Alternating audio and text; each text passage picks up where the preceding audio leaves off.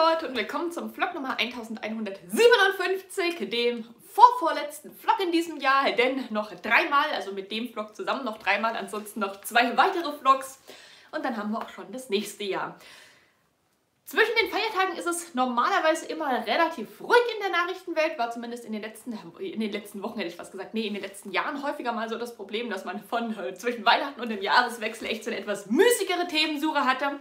Aber dieses Jahr irgendwie nicht. Also ging mir sehr, sehr oder erstaunlich leicht von der Hand in den letzten Tagen die Themenzettel zu schreiben. Wir haben noch ein paar schöne Sachen gefunden. Also schön in Anführungszeichen, obwohl wir tatsächlich eine sehr positive Meldung haben.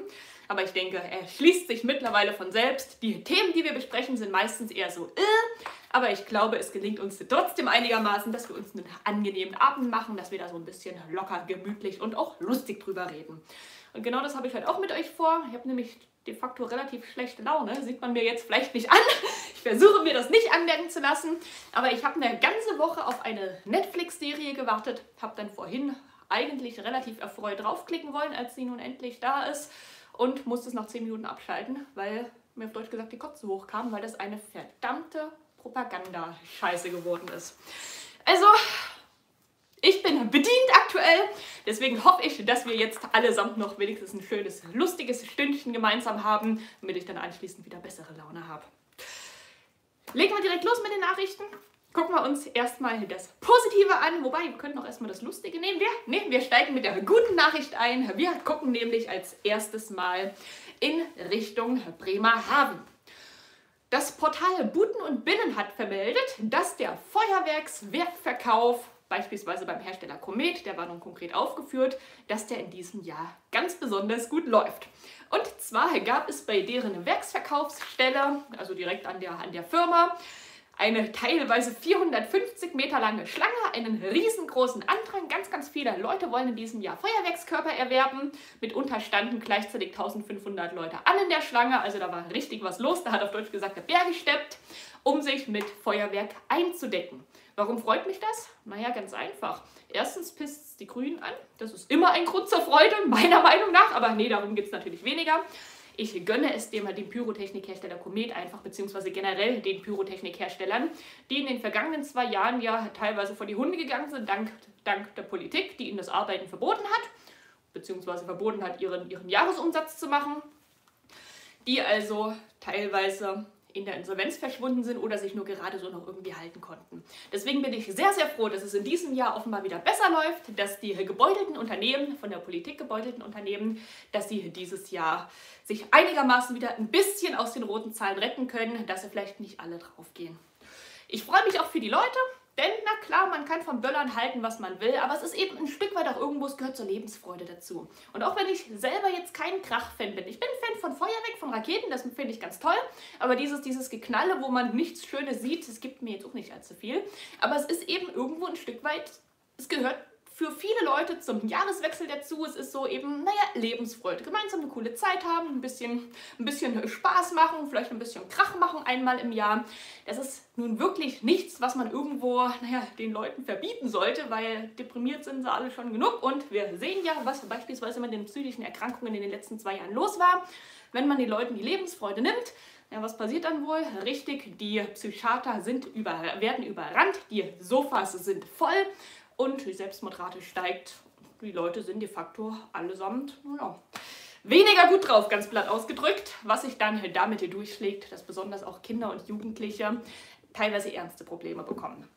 Deswegen ist es eine ziemlich blöde Idee, den Leuten Sachen zu verbieten, die einfach mal so ein klein wenig Erheiterung mit sich bringen. Ob man das nun selber äh, gut findet oder eben nicht, ist dafür völlig irrelevant, aber es ist zumindest ein gutes Zeichen, dass auch in Absurdistan noch nicht jeder die Lebensfreude verloren zu haben scheint.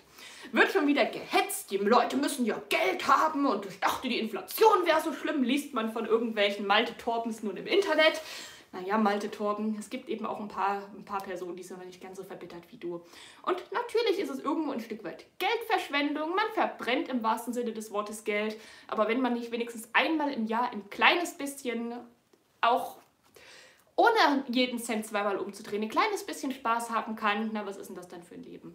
Also ich gönne es jedem, der dieses Jahr ein ordentliches Feuerwerk macht, wenn er nicht Gefahr läuft, dass es SEK bei ihm einreitet.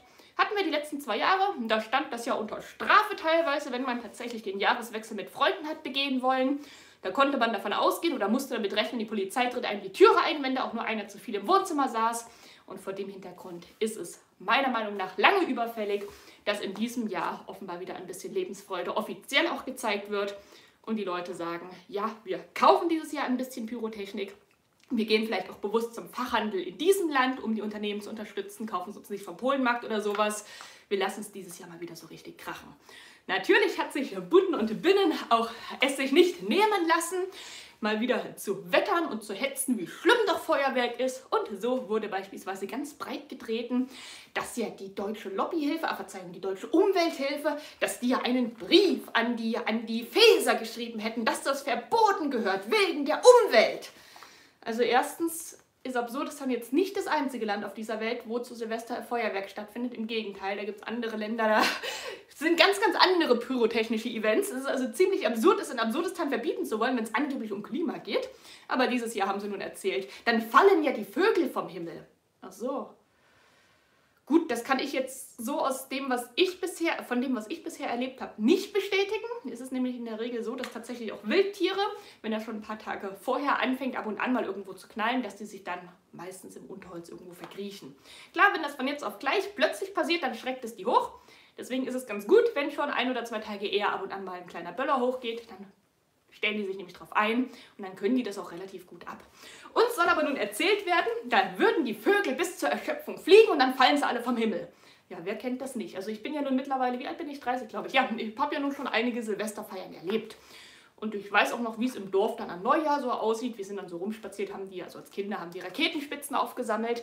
Was ich aber nicht einmal gesehen habe, war, dass das ganze Dorf voller toter Vögel war. Und auch im Umland des Dorfes habe ich das so noch nicht gesehen. Also gerne mal eure Erfahrungen reinwerfen.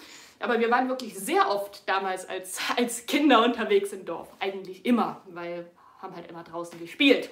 Und ich habe noch nie erlebt, dass nach Silvester überall die toten Vögel lagen. Mag sein, dass es in anderen Teilen des Landes anders ausschaut, aber äh, ehrlich gesagt, das halte ich für absoluten Nonsens. Ist mir auch in, noch in keinem anderen Land bisher aufgefallen, in dem ich war. Aber gut, das ist nun die neue Argumentation. Die Vögel würden vom Himmel fallen. Hm? Die Vögel fallen vom Himmel. Und dann wurde noch erzählt, wie gefährlich das doch ist, wenn geböllert wird. Die Notaufnahmen sind überfüllt und die Polizeigewerkschaft warnt und der, der Ärzteverband warnt. Naja, eigentlich sollte jedes Kind wissen, wie man sicher mit Pyrotechnik hantiert. Und wenn man entsprechend zertifizierte Feuerwerkskörper kauft, beispielsweise bei Firmen, die Werksverkäufe in Deutschland haben, dann sollte da, wenn man nicht stockbesoffen irgendwas zündet oder, oder sich damit gegenseitig beschießt, was in Neukölln an der Tagesordnung ist, dann sollte da eigentlich nichts passieren. Ist mir auch kein einziger persönlicher Fall bekannt. Weder aus dem direkten, aus dem näheren noch aus dem erweiterten Umfeld. Ich kenne keinen einzigen Vorfall, wo jemand ernsthaft zu Schaden gekommen ist. Ja, wir haben bei uns mal die halbe Wiese abgefackelt, aber das war was anderes. Da gab es keinen Personenschaden, ja, da ist halt ein Mast in Brand geraten, das war halt auf dem Dorf so, haben wir gelöscht, fertig aus, was. Sah dann nur ein bisschen scheiße aus, was ein Gartenzaun erwischt hat, aber viel Schlimmeres habe ich noch nie mitbekommen. Und dass, da, dass die Wiese abgebrannt war, das lag jetzt auch nicht daran, dass da meine Eltern besoffen damit hantiert hätten. Das war, lag einfach daran, dass es in dem Jahr damals sehr, sehr trocken war. Und das war auch keine, kein Böller, das war so, und kennt ihr diese Feuerräder, die so hochzischen? So ein Feuerrad ist damals bei uns in den Vorgarten, also nicht in, in so einen Grünstreifen gerast, wo relativ hoch das trockene Gestrüpp stand. Und das hat dann eben ein bisschen gebrannt. Ja, passiert, hat man eben gelöscht immer im Dorf, hat man ja die Regentonne in, in greifbarer Nähe. Aber meine Güte, ist halt einfach so, nichts weiter, nichts weiter, niemand zu Schaden gekommen, alles bestens. Muss man eben schauen, dass man Wasser in der Nähe hat. Das ist der einzige Vorfall, den ich jemals erlebt habe mit Pyrotechnik. Und das lag eben daran, dass dieses Feuerrad, das ist eigentlich ein Kinderfeuerwerk gewesen, also das ist sowieso frei verkäuflich, dass dieses Feuerrad in das trockene Gebüsch geflogen ist. Aber klar, es wird nun großflächig gewarnt, wie gefährlich es doch wäre und wie schlimm die Notaufnahmen überlastet sind. Vielleicht, liebe Ärzteverbände und Polizeiverbände, solltet ihr mal davor warnen, besoffen mit irgendwelchen Sachen zu hantieren. Wenn man stockbesoffen Pyrotechnik zündet oder ein Fahrzeug führt oder sonst irgendwas macht, auf eine Leiter steigt, ja, dann kann das zu Unfällen führen. Da kann aber der Feuerwerkskörper nichts für. Das liegt einfach daran, dass die Person, die irgendetwas verwendet, nicht mehr Herr ihrer selbst ist. Wäre also ein bisschen zweckdienlicher, vor übersteigertem Alkoholkonsum zu warnen. Das ist nämlich in der Regel der größte Faktor, weshalb Leute irgendwo in der Notaufnahme landen an Silvester. Aber ne, natürlich ist die Pyrotechnik schuld, die passt ja nicht in die Propaganda der Grünlinge. Das wollen sie ja ohnehin verbieten. Und jetzt haben sie eine neue Begründung dafür gefunden. Da haben wir nämlich gleich den nächsten, den nächsten Artikel von südthüringen.de. Nun wird in mehreren Thüringer Städten zumindest teilweise das Abbrennen von Feuerwerk, das Zünden von Feuerwerk verboten mit der, Begründ mit der Begründung Brandschutz. Das ist spannend. Die letzten zwei Jahre hat man es verbieten wollen, weil angeblich ach so gefährlich. Weil Zombie. Und dann versucht man es zu verbieten, weil die Vögel vom Himmel fallen. Und jetzt kommt die offizielle Begründung, wegen, wegen, Brand, wegen einem Schutz vor Bränden. Also und die letzten 30 Jahre, seit, äh, über 30 Jahre, in denen Thüringen jetzt nun zu Absurdistan gehört, da ging es doch aber komischerweise auch. Betrifft nur eine Handvoll Städte. Konkret geht es um historische Stadtzentren, da kann man das ein Stück weit auch noch verstehen. Allerdings sind da jetzt auch selten Sachen, die leicht in Brand geraten. Da ist nämlich für gewöhnlich ein gewisser Schutz vor Bränden generell schon gegeben, aber gut. Konkret geht es um die Städte. Ich habe es mir einfach alles aufgeschrieben. Einmal, einmal durchrattern. Um die Städte Weimar, Rudolstadt, Bad Langensalza, Bad Blankenburg, da war ich mal auf Klassenfahrt, Gotha, Saalfeld, Schleusingen und Wasungen. In diesen Städten gibt es zumindest ein teilweises, teilweises gibt es das Wort, gibt es zumindest teilweise ein Verbot, Feuerwerk abzubrennen, weil man angeblich Brände vermeiden möchte. Erinnert ihr euch noch an diesen Irrsinn der Feuerwerksverbotszone in Berlinistan? Das sind wir vor, ich glaube, drei Jahren, nee, zwei Jahren muss es gewesen sein, sind wir da lang gefahren. Haben haben wir ja dann noch Boris abgeholt. Habe ich euch ja diese Feuerwerksverbotszone einfach mal gezeigt. Ja, mein Gott, dann gehen die Anwohner eben jener meist Problemviertel in Berlin. In Berlin geht es ja darum, dass sich die Clans nicht gegenseitig mit, Raketen, äh, mit den Raketen äh, naja, abschließen. Da gehen sie halt einfach um die nächste Straßenecke. Aber das ändert auch nichts daran, dass da ein gewisses Gewaltpotenzial in Regionen wie zum Beispiel Neukölln oder gewissen, gewissen, gewissen Straßenzügen in Schöneberg herrscht. Das ändert auch nichts daran, dass die Leute sich irgendwo die, die Schnauze einhauen oder sich mit irgendwas beschießen. Das machen sie trotzdem, ob das Abbrennen von Feuerwerken erlaubt ist oder nicht. Das Einzige, oder die einzigen, die, damit, die davon tatsächlich geschädigt werden, sind gerade auch Menschen mit Kindern, Familien, die vielleicht einfach ein paar Raketen um Mitternacht starten lassen wollen, die dann kriminalisiert werden. Die, die sich damit Schaden zufügen wollen, die es irgendwie geil finden, die, den Nachbarclan abzuschießen, die machen das trotzdem. Ja, dann machen sie es eben nicht vor der eigenen Mietskaserne, dann gehen sie zu einer, einer Mietskaserne weiter. Und selbst wenn sie es vor der eigenen Mietskaserne machen, da geht doch meistens eh keiner ran von Seiten der Polizei. Da wird er dann nicht unter dargestanden, äh, da wird er dann mitunter dargestanden und geklotzt. Naja, wer immer heranbekommen wird, wen man da doppelt und dreifach strafen will, das sind meistens die, wo von denen keine Gefahr ausgeht. Wo man auch als Polizist weiß, ja, wenn ich die Familie mit den Kindern jetzt anfurze, denen einen Bußgeldbescheid auf, äh, einen guten Bescheid kriegen sie nicht, denen einen, einen Bußgeld androhe, ja, dann ist das ja, ist das ja wenig aufwendig, es ist für mich keine Gefahr und man kann ein bisschen Geld eintreiben. Trägt aber eben auch nicht zur Erhöhung der öffentlichen Sicherheit bei, aber es ist eben Deutschland. Aber wir wollen jetzt nicht über Berlinistan reden. Wir sehen in Thüringen, in Thüringen, im demokratischen Thüringen, die warten seit zweieinhalb Jahren auf ihre versprochene Neuwahl. Also so viel zu dem Thema. Fairerweise muss man dazu sagen, das sind nun Brandschutzverordnungen der Städte und Gemeinden. Da kann die Landesregierung jetzt nicht ganz so viel für. Aber es ist schon ein bisschen merkwürdig, dass gerade in dem Land, wo seit zweieinhalb Jahren eine Neuwahl verschleppt wird, den Menschen vorenthalten wird, ihre Regierung selbst zu wählen, dass gerade in dem Land so ein Irrsinn schon wiederkommt. Nun wegen der Brandgefahr. Hm, und was kommt als nächstes? Also die erfinden ja jedes Jahr eine neue Ausrede. Das zeigt, was die bisherigen Argumente ihnen wert waren, nämlich de facto gar nichts. Wenn ich ein gutes Argument hatte, brauche ich nicht, nicht jedes Jahr ein neues. Dann bleibt mein Argument auch im Folgejahr noch valide und bestehen. Wenn ich aber alle Nase lang irgendwas Neues mir aus dem, Rippen, aus dem Rippen schneiden muss, ja, dann deutet das darauf hin, dass die bisherigen Argumente vielleicht eher Strohmänner gewesen sind und da vielleicht auch nicht ganz so viel, äh, nicht ganz so viel dran war, wie man sie gerne verkaufen möchte. Aber ist halt Grünlings, Grünlingslogik. Ja, es sind jetzt nicht nur die Grünlinge, auch die SPD haut in die gleiche Kerbe. Im Prinzip so diese, diese, diese ganze gewisse Mainstream-Einheitsfront. Lebensfreude ist böse. Im Prinzip alles, was, was nicht dazu dient, die Hampel zu finanzieren, ist böse. Ihr sollt ja am besten nur noch in einem Schuhkarton leben und zum, zum Arbeiten, zum Steuern zahlen raus dürfen, wenn es nach denen geht. Und so Sachen, die einfach mal Spaß bereiten, die vielleicht auch keinen großen Sinn ergeben, die wirklich einfach nur kurzfristig eine schöne Zeit machen, die, die gehören abgeschafft, nicht wahr? Da hat ja die Hampel nichts von.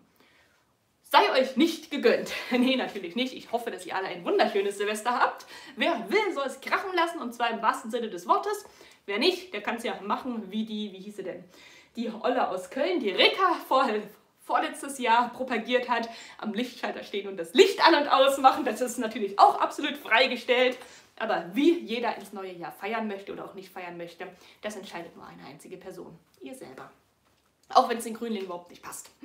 Lassen wir aber das Feuerwerk erstmal Feuerwerk sein. Kommen wir zu einem Feuerwerk der anderen Art. Wir gucken nämlich mal zur Saarbrücker Zeitung. Die haben von einem wahren Feuerwerk am Himmel berichtet. Da ist nämlich eine Gretelmühle abgeraucht. Ja gut, habe das jetzt ein bisschen hochgenommen, so lustig ist es eigentlich nicht, denn am Ende zahlen wir die Zeche ja mal wieder. Wir haben dieses Scheißding ja finanziert und quersubventioniert und die, die Entsorgung des Sondermülls, die werden wir hochfinanzieren. Aber gucken wir uns erstmal an, was sich da nun zugetragen hat. In der Nacht gegen 3 Uhr morgens ist eine Gretelmühle etwa 100 Meter hoch in Flammen aufgegangen. Werner schreibt, kommt öfters vor. Da muss ich jetzt gestehen, gesehen habe ich das selber auch noch nicht, aber das sind auch so Sachen, gut, da achtet man nicht drauf. Nachrichtentechnisch, naja gut, das sind ja meistens regionale Ereignisse, ist dann auch eher Zufall, dass man das mal sieht. Allerdings scheint das von der technischen Ursache her gar nicht so unwahrscheinlich zu sein, dass das passiert. Denn der Verdacht besteht, dass es an einem Bremsmanöver aufgrund eines Sturms lag. Also es war ein bisschen windig und eigentlich leben diese Gretelmühlen doch von Wind. Aber weil zu viel Wind da war, mussten sie die Gretelmühlen anhalten. Und bei diesem Abbremsmanöver scheint sich diese Gretelmühle in Rauch aufgelöst zu haben. Also ich dachte, dass ein Windkraftwerk mit Wind umgehen kann. Wenn das Windkraftwerk in Brand gerät, weil es windig ist, dann ist das ein bisschen absurd, aber okay. Es wird aber noch viel abstruser. Die Feuerwehr konnte nämlich nur daneben stehen und es abbrennen lassen. Wir hatten ja damals darüber geredet, dass in Berlin nur Leit Drehleitern bis irgendwie 25 oder 12 Meter, dreistöckige Gebäude konnten von der, von der Feuerwehr noch gelöscht werden, aber alles drüber war schon schwierig in, in Berlin in der Innenstadt. Mittlerweile haben sie neue Leitern bekommen, zumindest zu teilen. Wir können uns aber ausmalen, was dann bei Bränden in Höhe von, von 100 Metern so, so, so ist. So lange Leitern gibt es nämlich bei der Feuerwehr nicht. Und deswegen hat sich übrigens zugetragen in, oh Gott, wie heißt denn das Kuhdorf? Auch wieder in der Nähe von Bremerhaven, irgendwo im Norden. Ich habe mir das Dorf zwar, nee, ich habe mir das Dorf nicht rausgeschrieben. Ganz, ganz komisch.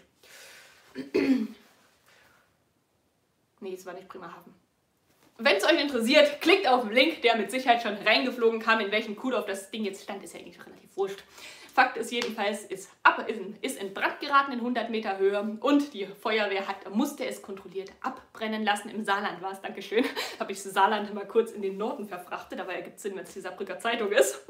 Ne, da habe ich die Meldungen, die stehen nämlich untereinander, die Meldung von Bremerhaven im Feuerwerksabverkauf und der Meldung vom abgerauchten, abgerauchten Windrad. Da habe ich jetzt kurz mal nach Bremerhaven teleportiert. Vielleicht ist da auch alles abgebrannt, aber zumindest nicht in dieser Nachrichtenquelle. War aber auch noch nicht alles. Losheim war es, danke Prinz Eisenherz. In der Nähe von Losheim stand diese Gretelmühle. Die umliegende oder die daran vorbeiführende Bundesstraße, die Landstraße da, ist kurzerhand gesperrt worden, weil sie Angst hatten, dass eventuell Teile des Windrades auf die Fahrbahn fallen könnten. Und die ist nicht nur während des Brandes gesperrt worden, denn der ist dann mitten in der Nacht alleine ausgegangen. Irgendwann war es einfach abgebrannt. Die Feuerwehr stand eben da und hat zugeschaut. Was wollten sie machen? Hochgekommen sind sie nicht, löschen konnten sie nicht. Und noch bis in den Vormittag hinein blieb diese Straße gesperrt, damit oh, das Windrad nicht auch noch irgendwie jemanden, der dran vorbeifährt oder dran, äh, dran vorbeiläuft, erschlägt. Oh, Vertrauens, vertrauenserweckende Technik warten wir mal, ob wir demnächst mehr Meldungen dieser Art bekommen. Kann ja vielleicht auch um in Richtung, in Richtung Entsorgung dieser Mühlen gehen, wenn man jetzt vielleicht mal so ein bisschen in die, in die Versicherungsecke schielt. Aber nee, soll, wir wollen jetzt keine, keine falschen Verdächtigungen an den Tag legen. So kann man so eine Mühle aber sicher auch loswerden. Naja, hier scheint es sich wirklich um einen Unfall gehandelt zu haben, der aber schon ein bisschen lächerlich ist, wenn man bedenkt, dass ein Windrad in Flammen aufgeht, weil es windig ist. Also irgendwie habe ich langsam das Gefühl, dass die Dinger entweder elektrisch betrieben werden müssen, weil Flaute ist, weil kein Wind da ist. Muss man also Strom reinspeisen, damit die Dinger sich drehen. Oder aber, dass sie abgeschalten werden, weil zu viel Wind da ist. Gibt es denn auch mal eine Phase, wo die Teile laufen und Strom erzeugen? Naja, vielleicht, vielleicht auch nicht. Aber wir sehen ja, sobald in Absurdistan mal ein paar Tage keine Sonne scheint, da haben wir schon ernste Probleme. Da versucht man dann mittels Gaskraftwerken die ausbleibende erneuerbare Energie zu kompensieren. Blöd ist nur, wenn kein, wenn kein Gas da ist, dann kann man auch das Gaskraftwerk nicht befeuern. Aber das ist ja ein Dauerthema, die Energieversorgung, die Versorgungssicherheit in Absurdistan, naja, die ist sowieso prekär. Haben wir nachher auch noch eine schöne Meldung vom DGB, aber als erstes kommen wir jetzt endgültig weg von irgendwelchen Feuerwerksgeschichten, ob nun abrauchende Windräder oder Silvesterraketen. Gucken wir uns stattdessen etwas von der Tagesschau an, bei dem ich erst gedacht habe, das kann nur ein Witz gewesen sein, ist es aber nicht. Ab dem 1. Januar stellt die Deutsche Post nämlich die Versendung von Telegrammen ein. Mir war bisher gar nicht klar, dass es noch sowas wie Telegramme gibt, dass man also noch Telegramme versenden kann. Ich dachte eigentlich, das wäre schon seit Jahrzehnten aus der Mode gekommen. Es ist wohl auch so, das hat mitgeteilt die Tagesschau, dass die Deutsche Post noch eine der, eines der letzten Unternehmen auf dieser Welt ist, das überhaupt noch einen Telegrammversand anbietet. Ist relativ teuer, für 160 Ze äh, Zeilen müsste man 12,57 Euro zahlen, wenn man da ein Telegramm aufgeben möchte. Gibt auch kaum noch Leute, die Telegramme versenden. Das sind fast nur irgendwelche Firmen, die das gelegentlich tun. Die meisten sind aber auch da schon auf digitale Kommunikationsmöglichkeiten umgestiegen. Und ansonsten verwenden Firmen meistens, wenn es noch analog sein muss, auch ganz normale, ganz normale Postdienstleistungen. In Mode gekommen ist das Telegramm als damals schnellste Kommunikationsmöglichkeit der Welt im Jahr 1852. Und etwa 170 Jahre später stellt nun auch die Deutsche Post den dementsprechenden Versand ein.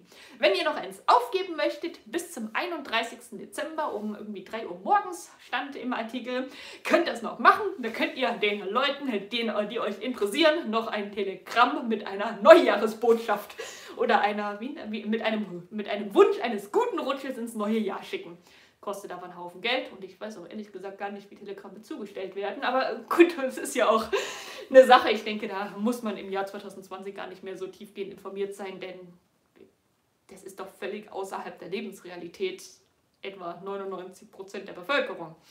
Vielleicht haben wir ja einen, einen begeisterten Telegrammschreiber unter euch. Es geht nicht um die App, nicht um die Telegram-App, es geht wirklich um Telegramme, wie sie in alten Filmen noch anzutreffen sind in irgendwelchen alten Krimis, wenn ein Telegramm nach London oder so aufgegeben wird, hat man das häufiger.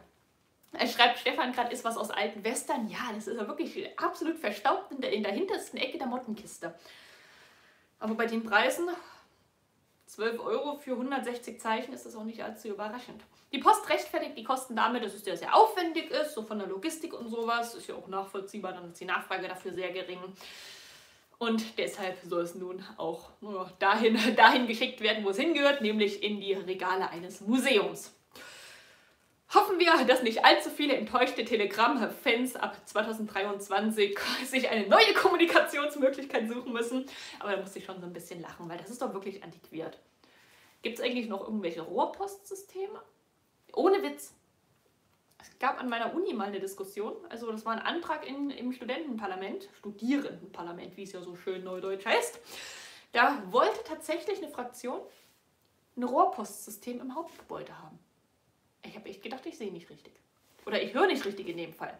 Sie wollten ein Rohrpostsystem, hey, ist gut, im Uni-Hauptgebäude zur Übermittlung von Nachrichten. Also, da saß man dann auch drin und dachte sich, was habt ihr eigentlich geraucht? Ja, das war, ist noch gar nicht so lange her, ist ein paar Jahre her, das war also schon jenseits der 2000. Katerchen, hör auf. Wenn das irgendwelche historischen Gebäude sind, die so eine Rohrpostanlage noch besitzen, okay, dann kann man das ja vielleicht, wenn es irgendwo Sinn ergibt, noch weiter benutzen, bis es eben kaputt geht. Aber Rohrpostsystem irgendwo neu bauen? Also Verzeihung, naja. Es scheint tatsächlich noch Leute zu geben, die ab und an einen etwas merkwürdigen Humor haben. Das Traurige an der Stelle war, dass alle Studenten die Kosten dafür hätten tragen sollen, aber das Rohrpostsystem ist auch nicht durchgegangen. Es gab noch irgendeinen so zweiten Irrsinn, irgendwie eine Eichhörnchenkolonie sollte angesiedelt werden, das war im gleichen Studenten, äh, Studentenparlament. Ging es darum, dass im Hauptgebäude irgendwo eine Eichhörnchenkolonie doch bitte leben sollte. In einer Großstadt, in Berlin. Da wollten sie eine Eichhörnchenkolonie. Ja, wird die Eichhörnchen bestimmt ganz, ganz, werden die Eichhörnchen ganz, ganz geil finden. Aber gut, lass mal die Meldungen als Schwank aus der Vergangenheit in der Vergangenheit bleiben und schauen uns die nächste aktuelle Nachricht an. Da haben wir nämlich noch ein paar Sachen. Und zwar was, was ab 2023 eingeführt wird, im besten Absurdistan aller Zeiten, was auch etwas den Anschein erweckt, aus, einer, aus einem Schildbürgerbuch zu, gesprungen zu kommen. Der Lügel hat berichtet, dass es ab Januar, ab dem 01.01.2023, ein Recht auf, auf, Mehrwehr, auf Mehrwegverpackungen bei Fastfood gibt.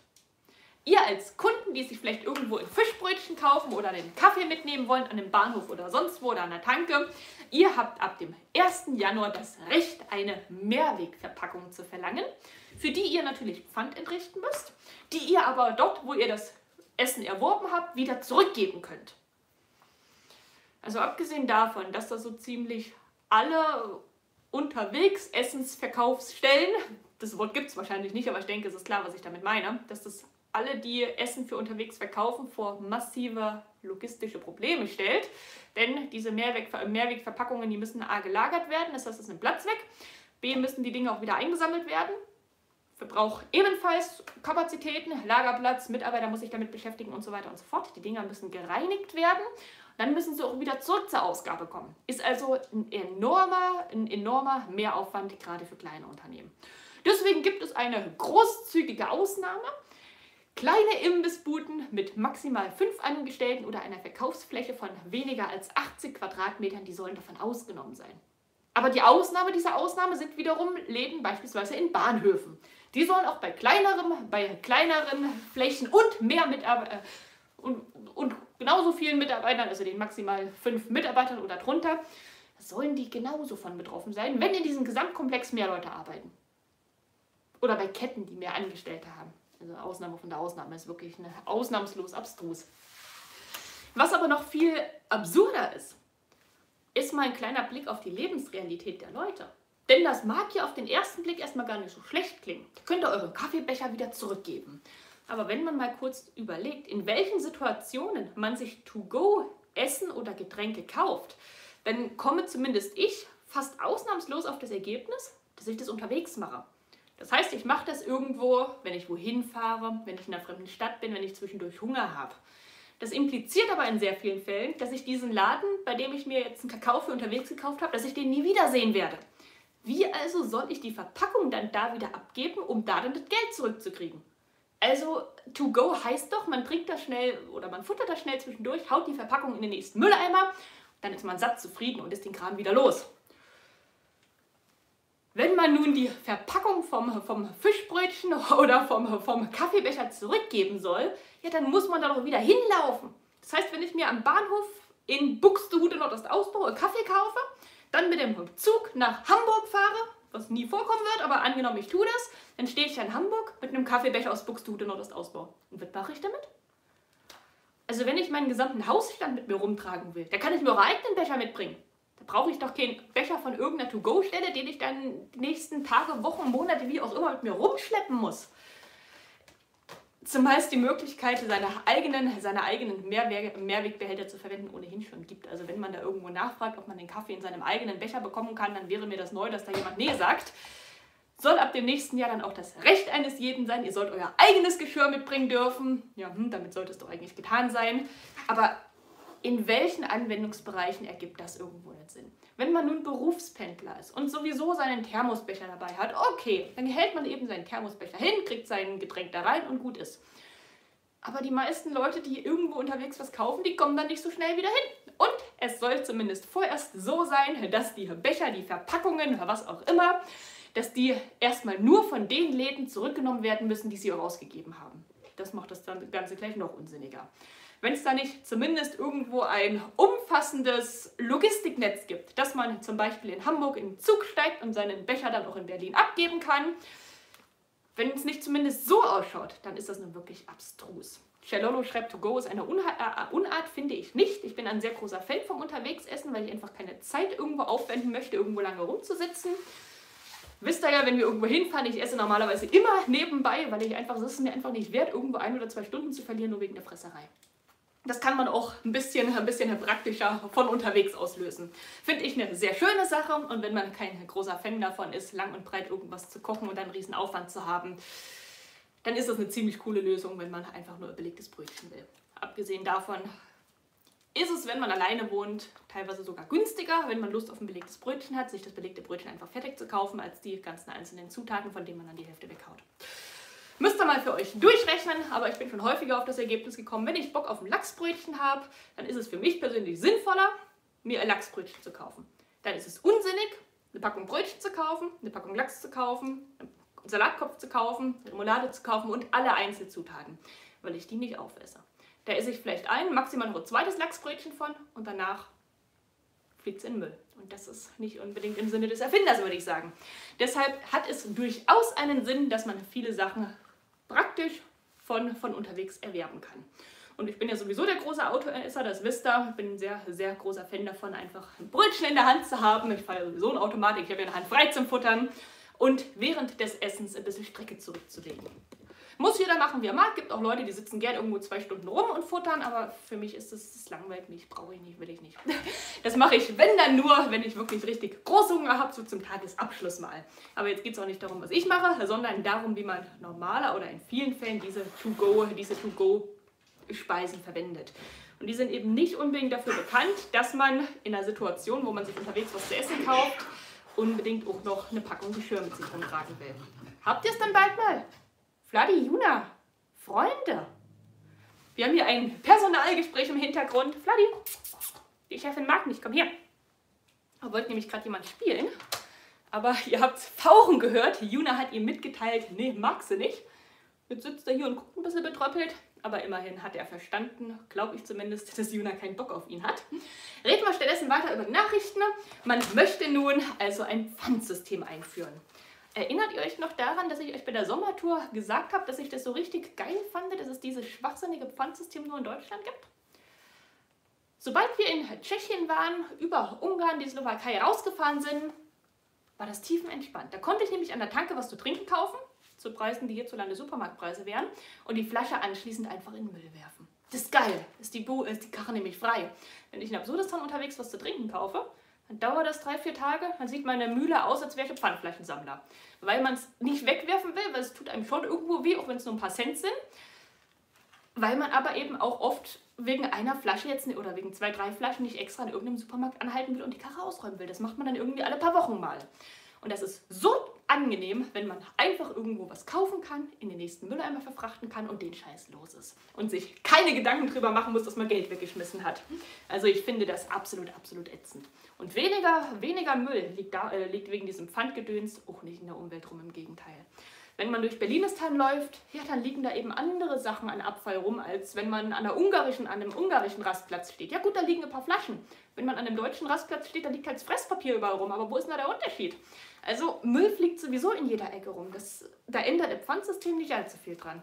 Abgesehen davon, dass auch Pfandflaschen überall weggeworfen werden. Da gibt es dann nur Rentner, die darauf angewiesen sind, das wegzusammeln, damit sie am Monatsende noch was im Kühlschrank haben, traurigerweise in Deutschland. Also das Argument, es würde weniger Abfall anfangen, ist doch Blödsinn. Anfallen, so rum. Und man kann auch Einwegflaschen durchaus recyceln über die gelbe Tonne, das wird ja auch gemacht. Naja, ist eben Absurdistan. Germanistan lese ich gerade. Es gibt schon eine Ankündigung, beispielsweise von McDonald's. Die wollen für eine Mehrwegverpackung für etwa ein Eis oder ein Getränk 2 Euro Aufpreis haben.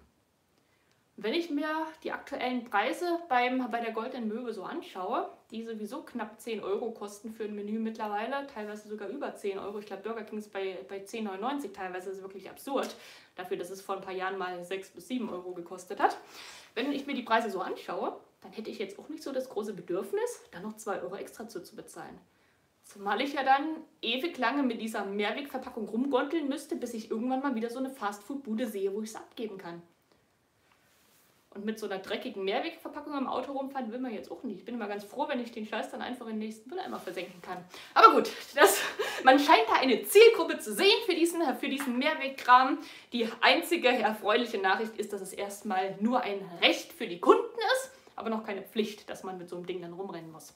Weil dann wäre es richtige Abzocke. Stellt euch vor, ihr wollt euch einen Kaffee kaufen, müsst eine Mehrweg Mehrwegverpackung dazu nehmen, vielleicht ein bis zwei Euro Pfand drauf zahlen und dann müsst ihr entweder mit diesem leer gesoffenen Ding rumlaufen, obwohl ihr überhaupt keine Möglichkeit habt, das zu transportieren. Und abgeben könnt das nur da, wo ihr es gekauft habt. Oder ihr müsst 2 Euro im schlimmsten Fall wegwerfen. Ist eine scheiß Situation.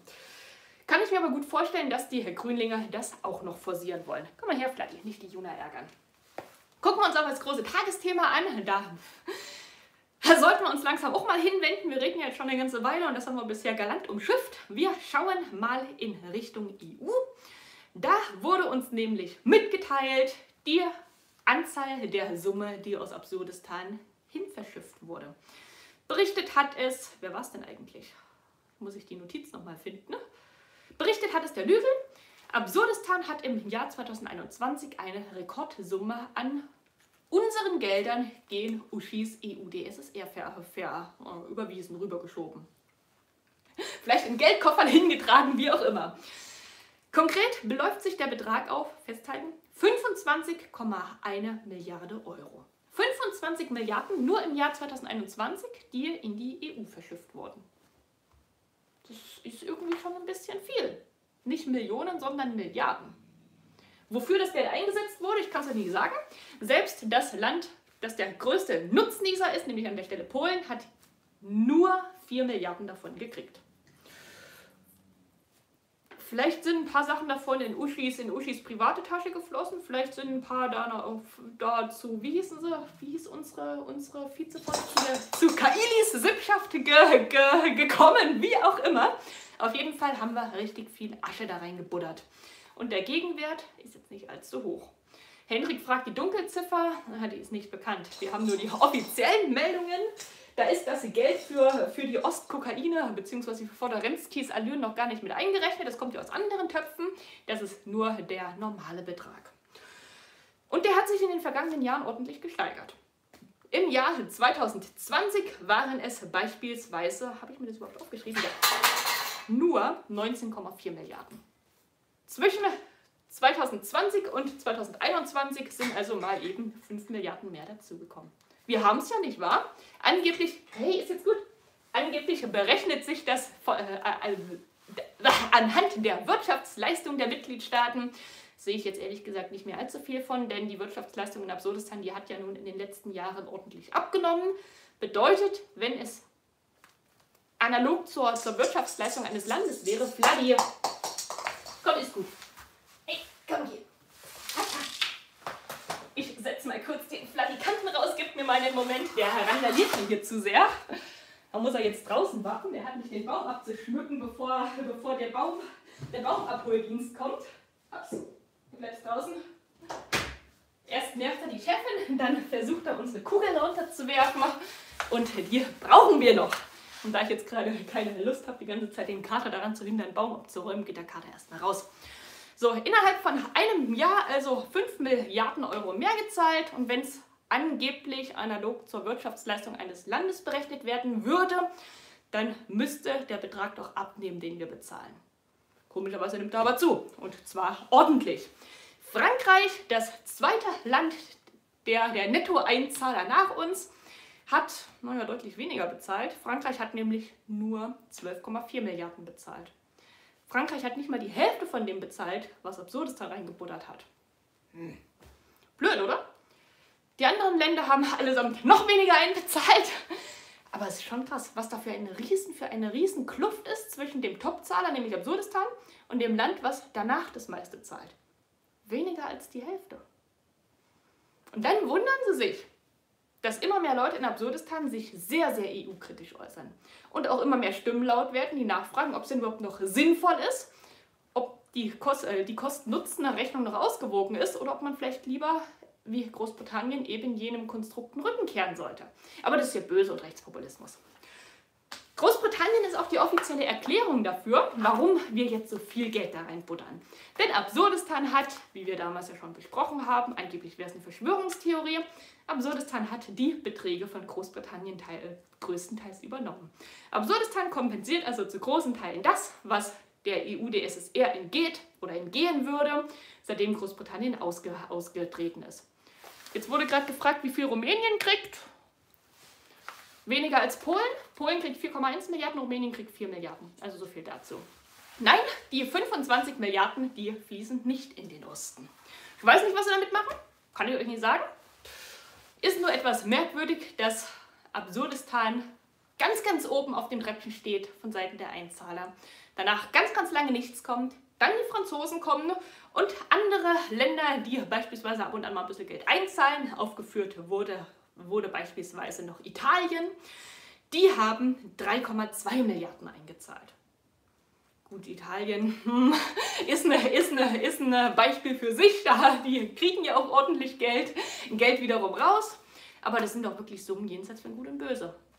Wofür zur Hölle werden da 25 Milliarden reingebuddert? Was ist denn da der Gegenwert? Wird ja mal erzählt, Deutschland würde so sehr vom Binnenmarkt profitieren.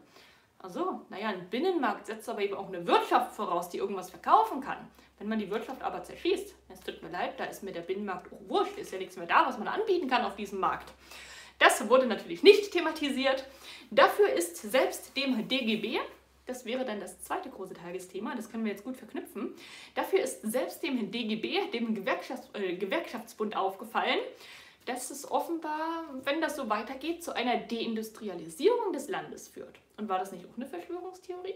Die DGB-Chefin Fahini warnt nun, wer hätte, es, wer hätte es gedacht, warnt nun vor einer Deindustrialisierung des Landes. Und zwar wegen den Energiekosten. Weil bezahlbarer Strom her muss, damit die Industrie bzw. generell die Wirtschaft arbeiten kann. Nun fordert sogar der Gewerkschaftsbund bezahlbare Energie. Sind das jetzt die neuen Verschwörungstheoretiker? Ich denke, die Industrialisierung wäre eine rechtsextreme Schwurbelei. Sind das nicht nur die bösen, bösen Querdenker, die sowas behaupten?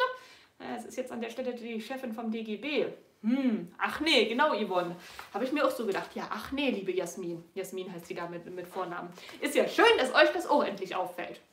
Ist aber nicht das Einzige, was sie fordern.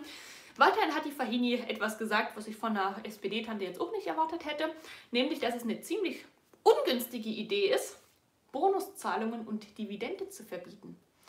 Aktuell dürfen viele Unternehmen nämlich keine Bonuszahlungen ausschütten. Ist ja so eine, so eine, so eine Grün-Links-SPD-sozialistische Einheitsfront-Idee. Äh, Dividende sind ja böse. Sache ist nur, es sind relativ normale marktwirtschaftliche Mechanismen und die sorgen wiederum dafür, das wird nämlich ganz gern vergessen, dass es überhaupt erst lukrativ für Unternehmen ist oder überhaupt erst den Unternehmen ermöglicht, in einem Land zu arbeiten, weil Investoren in sie investieren. Ohne Geldgeber, Aktionäre beispielsweise, können die Unternehmen mitunter nicht arbeiten. Und die Aktionäre wiederum, die kriegen entweder ein bisschen Taschengeld oder teilweise auch einen Teil ihres Lebensunterhaltes davon, dass die Unternehmen ihr Geld zur Verfügung stellen. Das ist Gründing Dorn im Auge, aber das ist nun mal die normale Wirtschaftspraktik und zwar so ziemlich überall aus der, auf der Welt, wenn man von Nordkorea mal absieht, aber die haben keine nennenswerte Wirtschaft. Gehört also einfach zur Arbeitsweise der Wirtschaft dazu. Ohne Investoren, ohne Privatleuten oder anderen Unternehmen, die in eine Firma investieren, würde es sehr, sehr viele Firmen nicht geben. Wenn man nun also dafür sorgt, dass die Unternehmen A nicht produzieren können, weil sie sich die Energie nicht leisten können, und B sie immer unattraktiver für Investoren werden, naja, was ist denn das dann noch für ein Wirtschaftsstandort? Dann sind bald keine Unternehmen mehr da, weil die Investoren natürlich zurückziehen ihr Investment.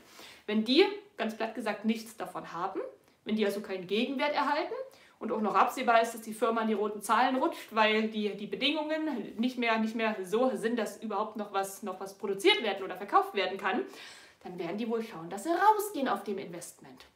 Aus dem Investment. Bedeutet also eine, zu, eine zusätzliche Schwächung der Firma oder generell des Wirtschaftsstandortes. Wenn ein Standort nicht attraktiv für Investoren ist, dann werden sich da weniger Firmen ansiedeln. Die Firmen, die da sind, werden massiv zu kämpfen haben, werden also schauen, dass sie abwandern, damit sie sich anderswo besser finanzieren können. Und wenn eine Firma abwandert, was passiert dann wohl mit den Arbeitsplätzen? Nehmen die ihre ganzen Mitarbeiter mit in ein anderes Land? Also sofern sie nicht vor die Hunde gehen, wenn sie groß genug sind, können sie sich ja leisten, abzuwandern. Nö. Dann gehen sie zum Beispiel in die Türkei und stellen da neue Leute ein. Und was passiert mit den Mitarbeitern in dem Land? Ja, die stehen auf der Straße. Und was will man dann mit denen machen? Neues Unternehmen gründen wird schwierig. Das neue Unternehmen hat ja auch keinen, äh, keinen bezahlbaren Strom. Und Investoren für ein neues Unternehmen findet man auch nicht. Das heißt, viele, viele Menschen, in sehr vielen Fällen hochqualifiziert, stehen von jetzt auf gleich auf der Straße, weil einfach keine nennenswerten Wirtschaftsunternehmen mehr vorhanden sind. Stehen dann vor der Wahl, entweder schauen, dass sie irgendwie noch Land gewinnen können, wenn sie die Möglichkeit noch haben, ihren Hintern aus Absurdistan rausschaffen. Wer das nicht kann, naja, der hat halt einfach, der ist am Arsch. Der kriegt dann irgendwelche Alimente von der Hampel. Der ist dann abhängig von irgendeiner Gier für ein Grundeinkommen oder Bürgergeld oder wie das so schön heißt und kann sich dann nicht mehr, nicht mehr erlauben, noch aufzumucken, weil die Hampel ihn de facto finanziell an, an der kurzen Leine hält. Was man aber auch machen könnte, was vielleicht die, das ist jetzt an der Stelle Ironie, was vielleicht die Strategie der Hampel ist, die Leute, die auf der Straße stehen, weil die Firmen pleite gehen oder wer es noch kann, abwandern, die Leute einfach als Staatsbeamte anstellen. Naja, dass man Staatsbeamte mit Steuergeldern zahlt, die in der Wirtschaft erwirtschaftet werden, wie der, wie der Begriff schon so schön sagt, das kommt da ja nicht so wirklich an. Aber das führt uns zur nächsten Meldung, da musste ich ein bisschen lachen. Von der Tagesschau, die haben berichtet, dass die Zahl der öffentlich Beschäftigten ebenfalls einen Rekordwert erreicht. Im Jahr 2021 ist die Anzahl der Leute im öffentlichen Dienst auf 5 Millionen gestiegen. Okay, man gönnt sich ja sonst nichts. Von 83 Millionen Einwohnern arbeiten 5 Millionen für den Staatsapparat. Das riecht irgendwie nach Wasserkopf. Gleichzeitig ist das aber immer noch nicht genug. Man beklagt nämlich vom Beamtenbund, dass weitere 360.000 angeblich fehlen. Sie brauchen noch mehr Mitarbeiter, nochmal 360.000 mehr, damit die Aufgaben der Verwaltung funktionieren. In den vergangenen Jahren hat man die Verwaltung immer weiter aufgebläht. Man hatte im Jahr 2021 5,096 Millionen, 2020 hatte man 4,97 Millionen Beschäftigte, 2018 waren es 4,88 Millionen. Nee, 2020 4,97, 2019 waren es 4,88 Millionen und 2018 waren es 4,8 Millionen. Heißt also, in den letzten vier Jahren kommen auch ein paar hunderttausend wiederum dazu, obwohl es eigentlich sinnvoller sein sollte, wenn die Wirtschaft immer weiter abnimmt, dass man dann auch kausal dazu den Staatsapparat schrumpft, weil der einer der größten Kostenfaktoren ist, die es gibt in diesem Land. Dass man also schaut, dass man einen schlanken, einigermaßen effizienten Staat hinbekommt, wenn man schon einen braucht. Aber nicht auch da noch jede kleine Provinz, Provinzverwaltung unermesslich aufbläht. Dazu kommen ja horrende Pensionsansprüche. Gleichzeitig wird aber gejammert, dass die Rentenkassen leer sind. Naja, mag daran liegen, dass Beamte Pensionen bekommen und da teilweise, die meisten überhaupt nicht einzahlen in die Rentenkasse. Wenn man also 5 Millionen Arbeitnehmer hat, die zwar Gelder erhalten aus öffentlichen Quellen, aber da eben deutlich weniger Beiträge anzahlen als normale, als normale Mitarbeiter in der freien Wirtschaft, braucht man sich doch nicht wundern, oder? Naja, man wundert sich schon. Man fordert noch mehr Beschäftigte und nicht nur das, man fordert auch noch mehr Geld. Also meistens, je nach Besoldungsklasse, verdienen Beamte grundsätzlich gar nicht mal so schlecht einfacher Dienst ist ja weitestgehend abgeschafft und der mittlere Dienst, der ist jetzt gar nicht mal so extrem scheiße, wenn man es mit, mit, normalen, mit normalen vergleichbaren Berufen in der, Wirtschaft, äh, in der Wirtschaft ins Verhältnis setzt. Nun, fordert aber, nun fordern die Gewerkschaften, der, der Beamten, der, der Beamtenbund 10,5 Prozent, äh, 10 Prozent mehr Gehalt, mindestens aber 500 Euro pro Monat. Also wenn man mal ganz kurz ausrechnet, 10% mindestens 500 Euro.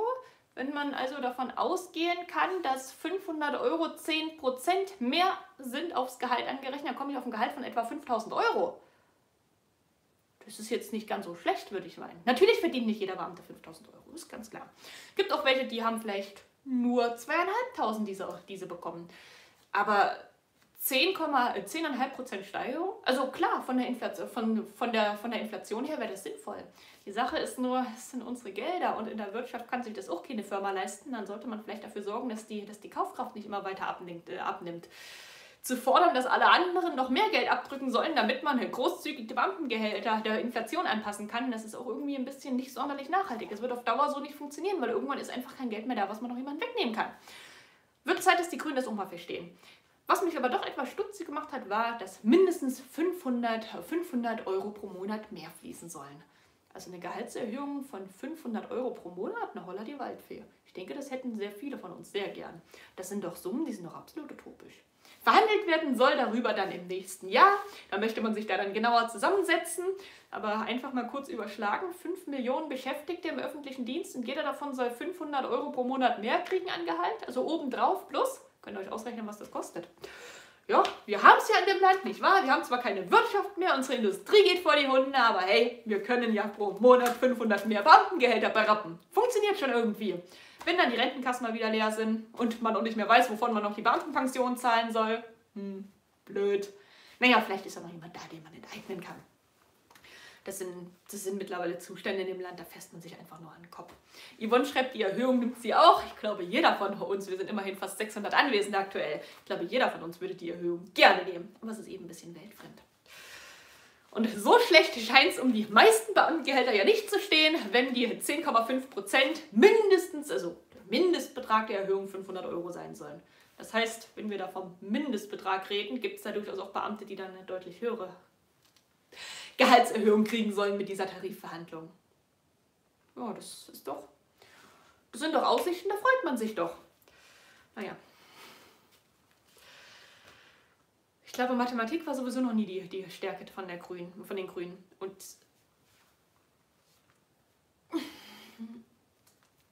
ich kann es ja nachvollziehen, dass man vielleicht nicht unbedingt so gerne rechnet. Ich habe Mathe in der Schule auch nicht wirklich gemocht. Das lag großteilig auch an den Lehrern, aber die haben doch Berater ohne Ende. Zumindest die müssen doch wissen, dass das so nicht funktionieren kann. Denen muss doch klar sein, dass man das Geld, was man irgendjemandem wegnehmen will, dass die Person, der man es wegnimmt, das Geld auch erstmal verdienen muss. Und das passiert eben in der freien Wirtschaft.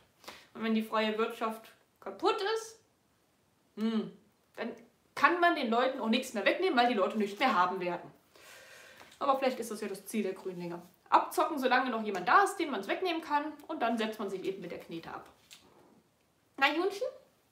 Ich fand es nur faszinierend, dass nun selbst dem DGB, dem Gewerkschaftsbund und dessen Chefin auffällt, also wenn das so weitergeht, stehen wir vor der Deindustrialisierung des Landes. Ja, haben wir das nicht vor 2000, vor 2000 ja, vor zwei Jahren schon besprochen? Vor 2000 Jahren haben wir es sicher noch nicht besprochen. Es ist ein bisschen länger her, da erinnern wir uns vielleicht nicht mehr so gut dran. Nee, aber haben wir da vor zwei Jahren nicht schon drüber geredet? Dass genau sowas absehbar ist, wenn man der Wirtschaft, den Unternehmen das Arbeiten verbietet, dass das die logische Folge ist? Ja, jetzt fällt es ein DGB auf.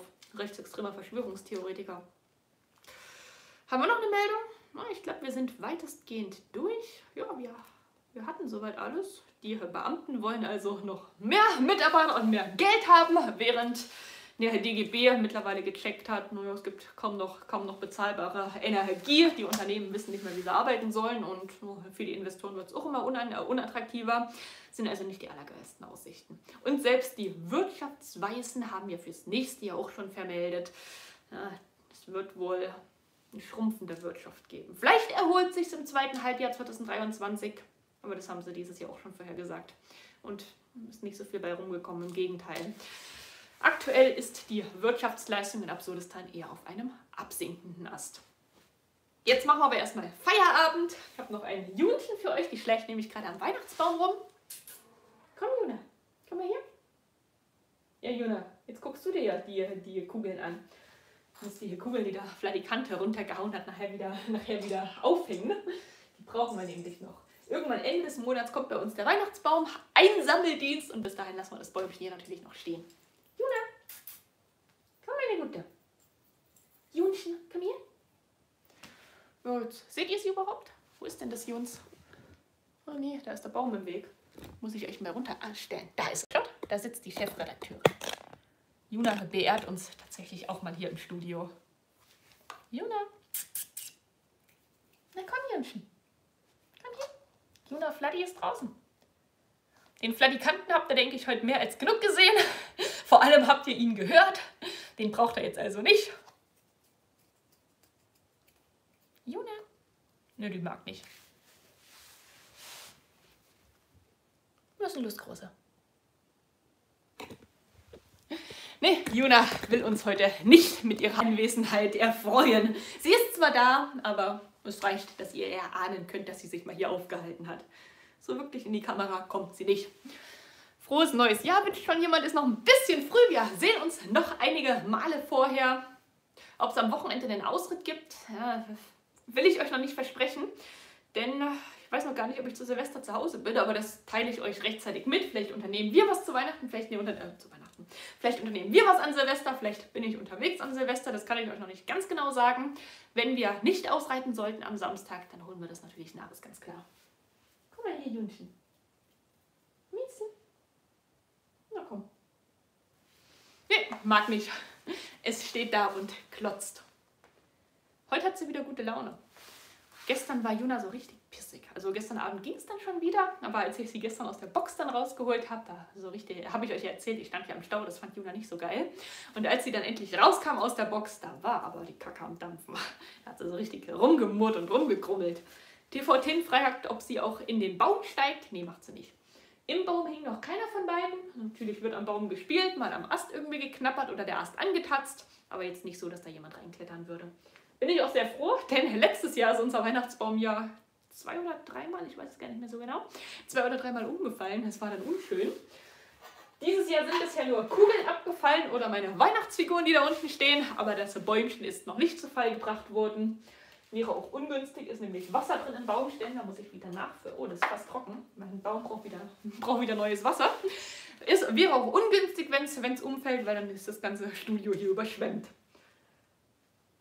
Parkett kann, Parkett. Das Laminat kann das Teil äh, theoretisch zwar ab, aber ich will es nicht unbedingt riskieren. TV Tin sagt gut, dass die Kugeln aus Plastik sind. Ja, das war ja die Intention dabei. Eigentlich finde ich echte Kugeln hübscher, weil es hat nochmal eine andere Wirkung. Aber wenn sie andauernd kaputt gehen, dann wäre das natürlich unschön. Und ist auch ein bisschen sicherer. Wenn da doch mal was runterfällt und ein Kätzchen drüber läuft, dann soll ja nicht gleich die Pfote kaputt gehen. Dann doch lieber die Kugel. Oder in dem Fall eben nichts von beidem, denn die Plastikkugeln, die können einiges ab. Juna, kommst du noch mal? Nö. Sitzt da hinten wie so eine Eule und guckt mit leuchtenden Augen. Junchen. Oh ja. So viel zum Thema Chefredakteurin. Ach, kommst doch? Na, hallo, meine Gute. Hi. Warte mal, Juna, müssen wir mal die Kamera ein bisschen ändern. Ist ja schön, dass du uns auch mal mit deiner Anwesenheit so richtig beehrst. Scherben bringen Glück, schreibt Knut. Ja, das mag sein, aber nicht, wenn ihr Kätzchen drauf tritt. Junchen. Guck mal hier, meine Große. Nicht schimpfen. Nein. Ich will dich nicht in die Box setzen, ich will nur, dass du mal in der, in der, im Bild bist, in der Kamera. Aber das will Juna nicht. Jungs? Na komm. Na komm, meine Süße. Oh sie ist da. Ja, er ahnt sie zumindest. Hm? Mama?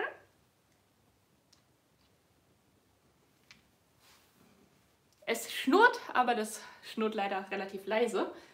Nicht wieder fladikant. Äh, Jonas, wäre schön, wenn du meinen, meinen Themenzettel nicht auseinandernehmen würdest. Mal, mal die Sicht drehen, damit ihr Juna noch mal richtig habt. Die ist ein so seltener Gast vor der Kamera, da müssen wir noch mal kurz draufhalten. Na, du Gute?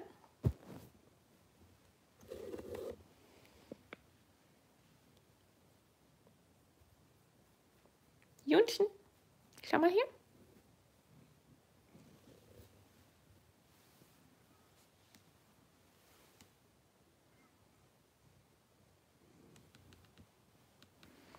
Oder Flatti guckt immer besser in die Kamera.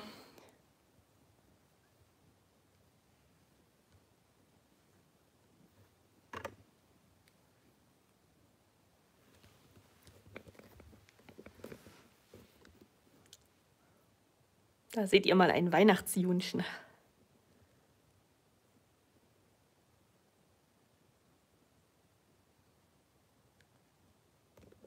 Ja, Gröpeli ist wirklich eine hübsche Katze. Aber ich glaube, ihr wisst alle, wie unser Junchen aussieht. Wäre nur schön, wenn sie auch mal ordentlich in die Kamera schauen würde.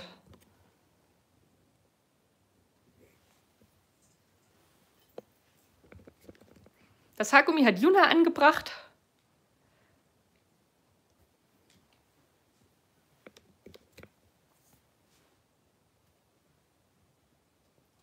Was machst du, Juns? Juna. Sie weiß den Baum zu schätzen. Ah, ich glaube, den findet sie ganz interessant. Aber wirklich kuscheln will sie gerade nicht.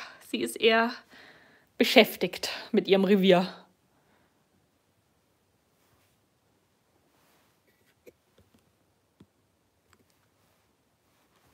Juna, suchst du den Fladdy? Der ist ausgesperrt. Ja, Cellolo, Juna und Fladdy sind komplett verschieden. Juna ist die zickige Diva und Fladdy ist der, der liebherzige, der gutherzige Dorftrottel, der kleine Süße. Ein paar Minuten Juna-Stream zum Ende. Die Nachrichten sind für heute durch, nicht wundern. Jetzt gibt es nur noch etwas im Bonus für alle Juna-Liebhaber.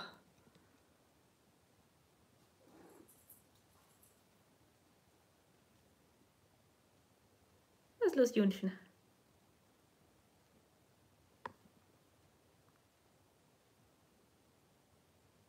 Ob der Baum schon nadelt? Hm, nicht so richtig. Die, Na die, Nädel, äh, die, Nädel. die Nadeln, die hier liegen, die sind schon beim Auspacken abgefallen, die meisten davon. Der hält relativ gut. Aber ist auch Wasser drin.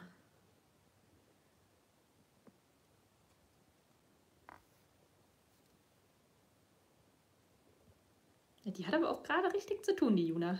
Hat gar keine Zeit für uns.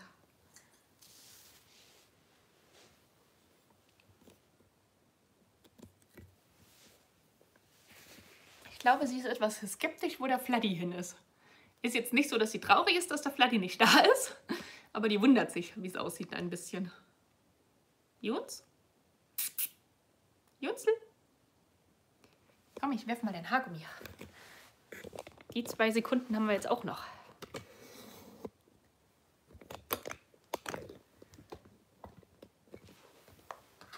Achtung, Junzel. Und da flitzt es.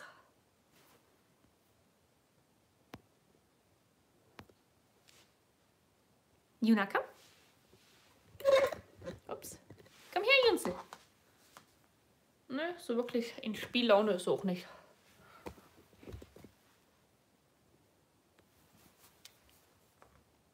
Da sitzt es und guckt.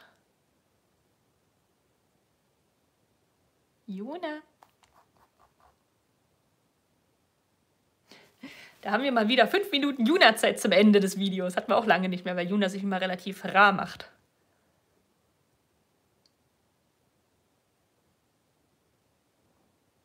Hört ihr es brummeln?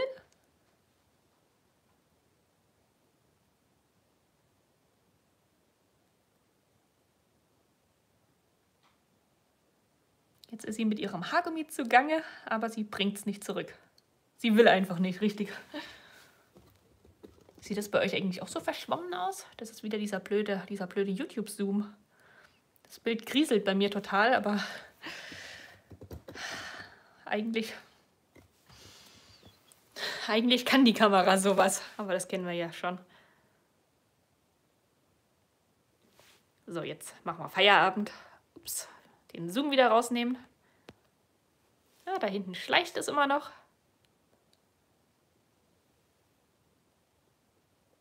Schaut, auf leisen Tatzen kommt es angeschwebt. Hm? Miau. Zu dunkel für Zoom, schreibt Knut. Ah, das liegt daran, dass die YouTube-App leider nicht auf die, auf die eigentliche Leistung der Kamera zugreift. Das haben wir ja schon mehrfach gesehen, traurigerweise. Wenn ich offline aufnehme, habe ich den Top-Zoom auch im relativ, in relativer Finsternis. Kann auch gute Nachtaufnahmen machen. Aber leider kann die YouTube-App das nicht. Und einen Livestream offline aufnehmen ist schwieriger. So, aber jetzt endgültig Schluss mit Katzen-TV. Ups, stelle ich euch noch mal kurz ab. Und wünsche euch einen wundervollen Freitag. Wir haben es ja schon 1.19 Uhr. Lasst euch nicht ärgern, lasst euch nicht von der Hampel wegfangen. Bereitet euren Jahreswechsel vor. Wer Feuerwerk zünden will, geht schnell einkaufen. Als ich vorhin einkaufen war, gab es tatsächlich nur noch Reste. Also im Supermarkt, eben, naja, in der nächsten Stadt hier in der Nähe. Ich habe jetzt auch nur einen Supermarkt gesehen. Ich weiß nicht, wie es in, wie es in anderen Städten ausschaut. Zumindest in dem Supermarkt, wo ich vorhin war, gab es so ein bisschen was noch, aber die meisten Sachen waren schon ausverkauft. Und das ist ganz schön krass. Ist ja, glaube, erst seit heute offiziell erlaubt, das Verkaufen. Haben so ordentlich gehamstert, waren auch hinter mir dann noch Leute im Supermarkt, die haben sich richtig gefreut, dass überhaupt noch was da ist.